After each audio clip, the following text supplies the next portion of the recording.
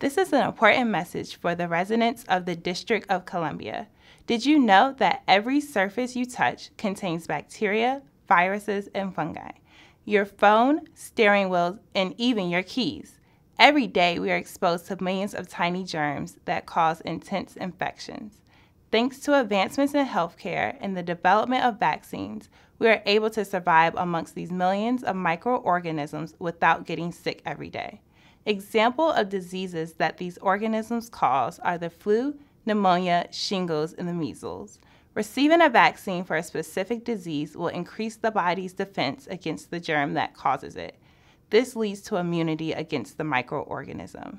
The Centers for Disease Control and Prevention states that almost everyone in America developed the measles before the vaccine was made.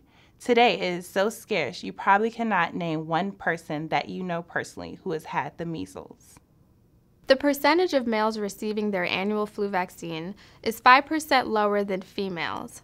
The immunization rate is lower for black and Hispanic men when compared to white and Asian men. All individuals are encouraged to receive the vaccine recommended for them.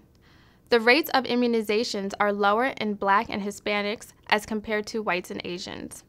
Vaccines are recommended for persons with chronic conditions such as heart disease, diabetes, lung disease, COPD, asthma, and cancer. Blacks and Hispanics are especially encouraged to receive their vaccines because they have higher incidence of heart disease and diabetes. Are you up to date on your shots? If not, you could be putting your loved ones, like infants and the elderly who are not healthy enough for vaccines, at risk. Please contact your doctor or pharmacist today for more information.